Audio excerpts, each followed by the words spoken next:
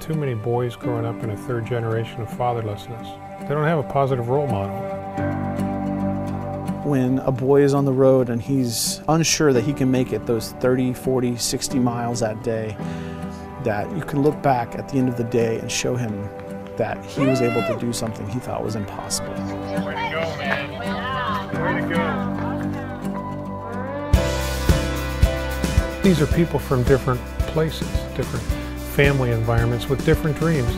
They're all being brought together to grow and mature uh, and to follow their dreams.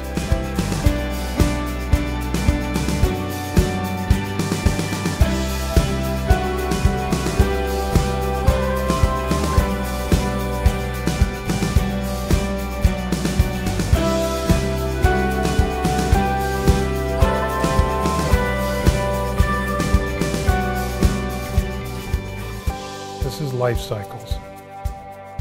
This is the long blue line.